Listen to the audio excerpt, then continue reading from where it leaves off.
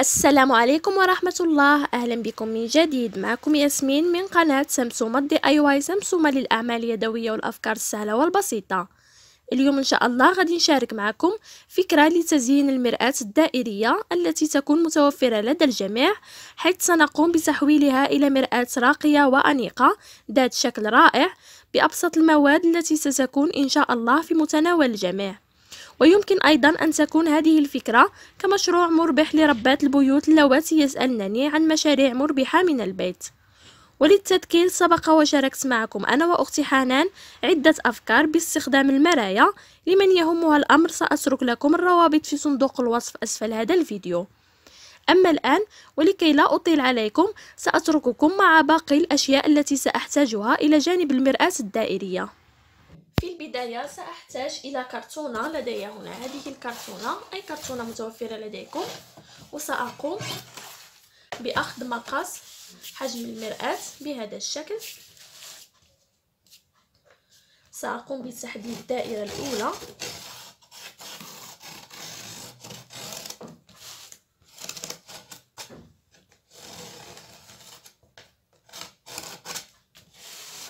هكذا ثم الدائرة الثانية في هذه الجهة لأنني سأحتاج إلى دائرتين.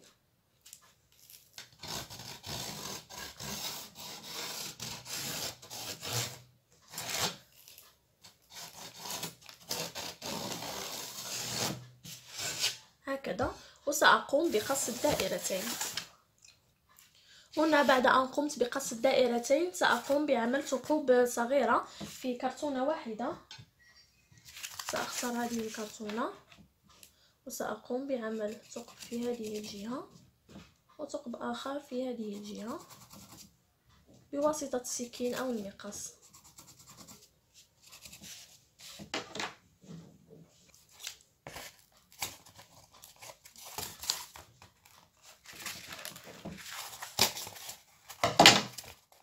بهذا الشكل بعد أن قمت بعمل ثقوب سأحضر خيط باللون الأبيض أو بأي لون آخر ترغبون به. ويمكن استبدال هذا الخيط بشريط ساتان مثلا أو بالحبل. وسأقوم بإدخال الخيط بهذا الشكل في الثقوب. وسأقوم بعمل عقدة في الوراء.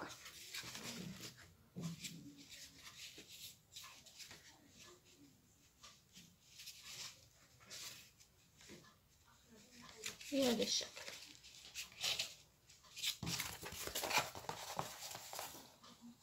الآن سأقوم بإلصاق هذه الكرتونة في هذه الجهة. في الجهة التي تظهر فيها العقدة. سأضع اللصاق في الجوانب.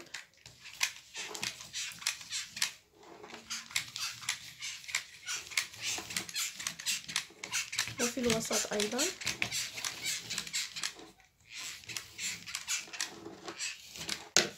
وسأقوم بإلصاق كرتونة بهذا الشكل.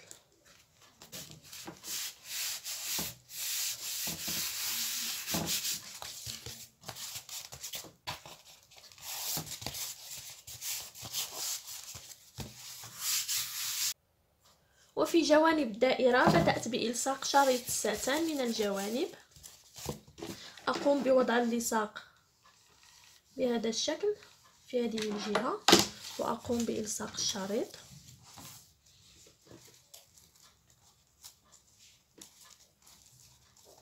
ثم ألصق الشريط من الجهة الأخرى أيضا.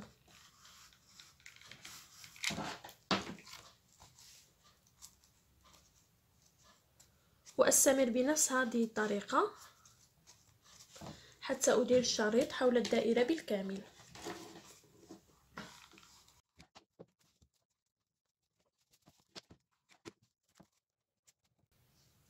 بعد أن قمت بإلصاق شريط السسام بهذا الشكل كما ترون.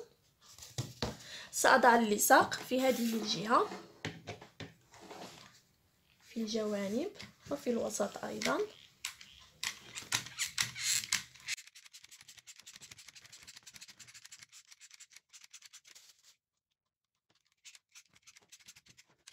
ثم سأقوم بإلصاق المرآة بهذا الشكل. الآن سأحتاج إلى هذا النوع من الخرز خرز مسطح باللون الأبيض بهذا الشكل. يوجد هناك عدة أحجام فمثلا لدي هنا هذا الحجم الصغير. أيضا يوجد بشكل دمعة. اختاروا الحجم الذي يناسبكم. وسأقوم بإلصاق هذا الخرز في الجوانب. سأضع اللصاق في البداية في الجانب بهذا الشكل.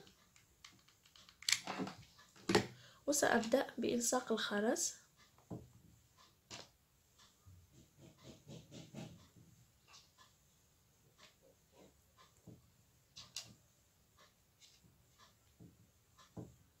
وسأستمر بنفس هذه الطريقة.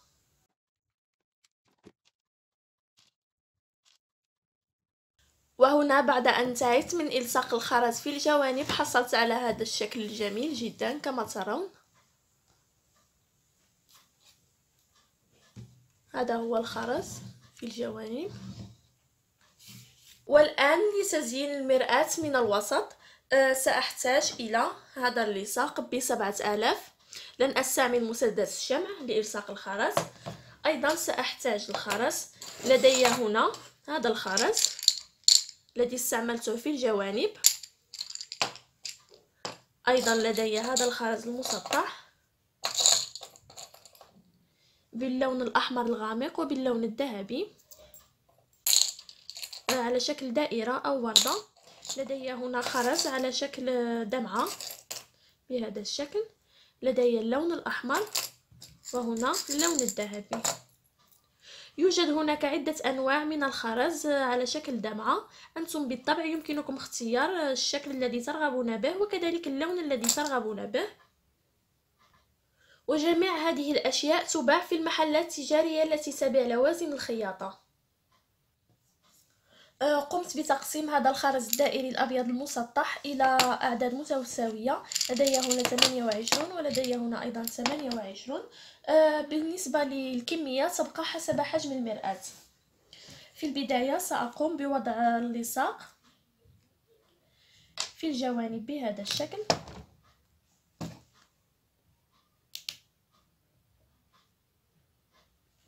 وسأقوم بإلصاق خرز بهذه الطريقة.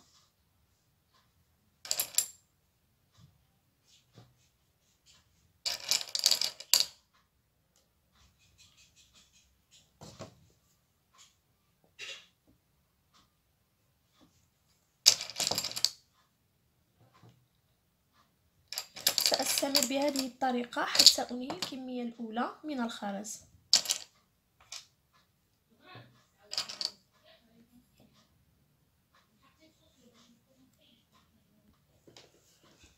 بعد أن قمت بإلصاق الكمية الأولى من الخرز بهذا الشكل سأترك تقريبا خمس سنتيمترات في هذه الجهة أو سأحسب خمس خرزات واحد اثنان ثلاثة أربعة خمسة. وسأقوم بإلصاق الكمية الثانية من الخرز في هذه الجهة.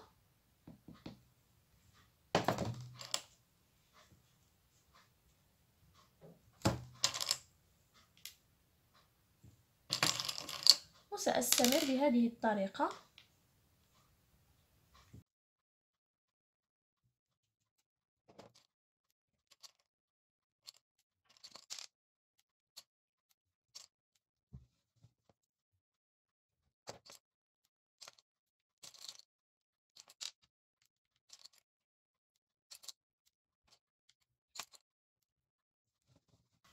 وهنا بعد أن قمت بإلصاق الكمية الثانية من الخرز آه، أحسب هنا. الخرز المتبقي في هذه الجهة واحد اثنان ثلاثة أربعة خمسة.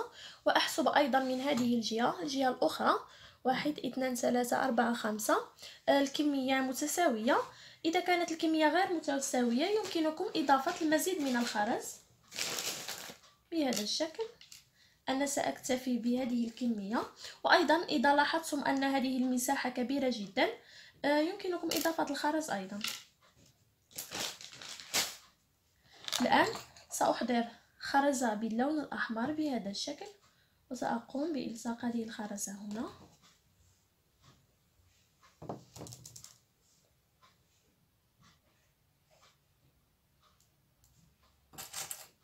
ثم سأقوم بإلصاق خرز آه، خرز بشكل دمعة باللون الذهبي. واحدة هنا. وأخرى مقابلة لها. بهذا الشكل. وسألصق ثلاث خرزات في هذه الجهة وثلاث خرزات أخرى في هذه الجهة. أي المجموع سيكون ثمانية خرزات في كل وردة.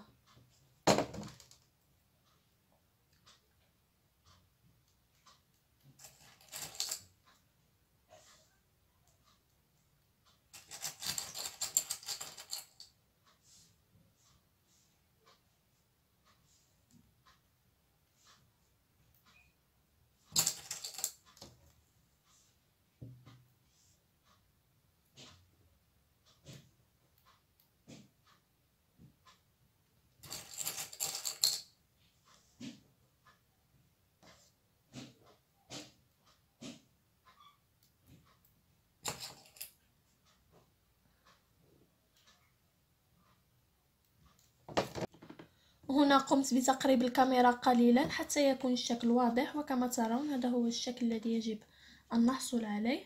نقوم بتعديل الوردة قليلا بهذا الشكل ونقوم بمسح زوائد اللصاق من الجوانب بواسطة عود الأذن قبل أن يجف اللصاق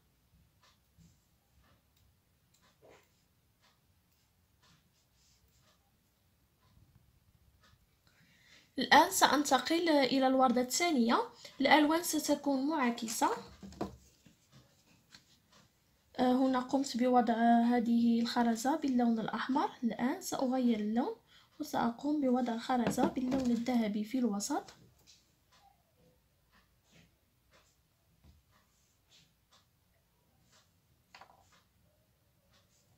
أما الخرز الذي سيكون في الجوانب فسيكون باللون الأحمر.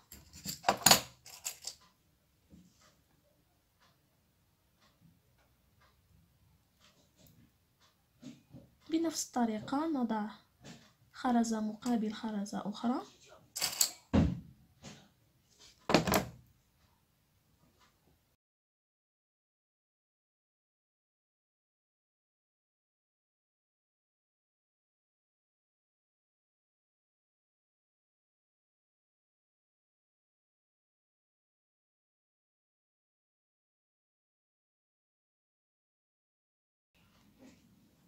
وسأقوم بتعديل الوردة.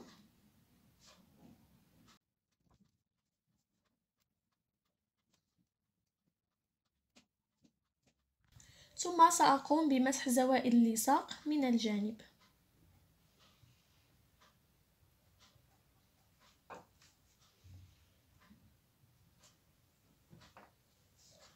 الآن سأحرك المرآة قليلا وسأقوم بعمل وردة أخرى في هذه الجهة. بنفس هذه الطريقة آه، أي نفس الألوان الموجودة هنا. في الوسط ستكون خرزة باللون الأحمر.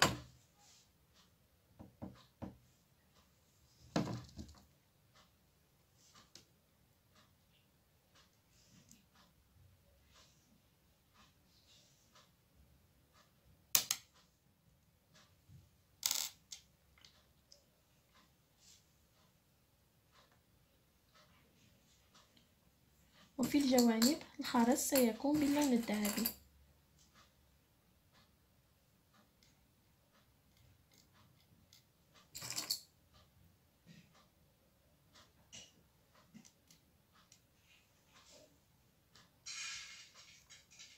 وهذا هو الشكل الذي يجب أن أحصل عليه كما ترون وردتين في نفس اللون والوردة التي في الوسط بألوان معاكسة.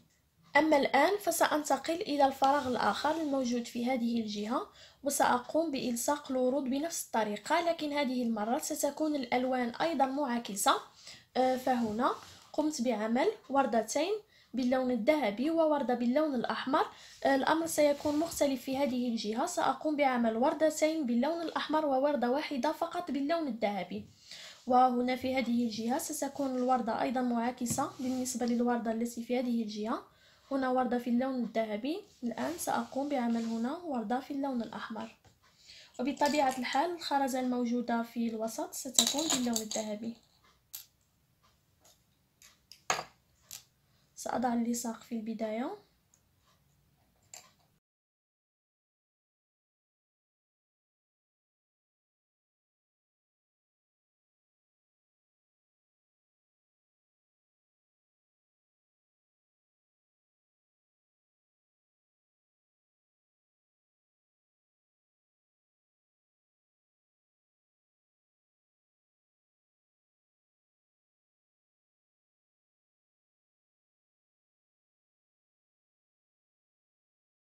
سأستمر بنفس الطريقة إلى أن أنتهي آه، من إلصاق جميع الورود. هنا بعد أن انتهيت من إلصاق الورود سأقوم بإلصاق الخرز في الجوانب بهذا الشكل.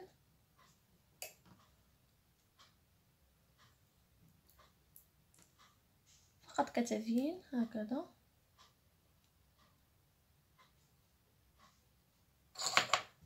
وخرزة أخرى في الوسط باللون الذهبي.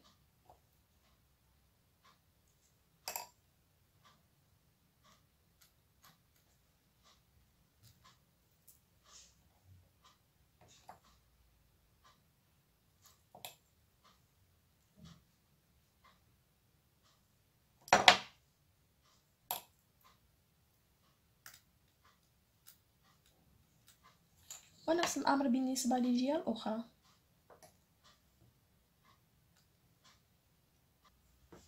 وبعد أن انتهيت من إلصاق الخرز سأقوم بمسح المرآة جيدا من بواقي اللصاق وسأتركها حتى يجف اللصاق جيدا. لا يأخذ وقت طويل. أعتقد فقط نصف ساعة لأنني استخدمت كمية قليلة جدا من اللصاق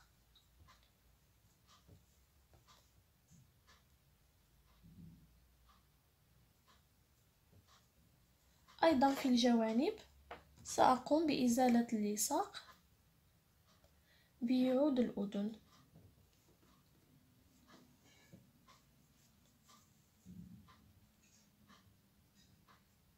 أستخدم منديل مبلل.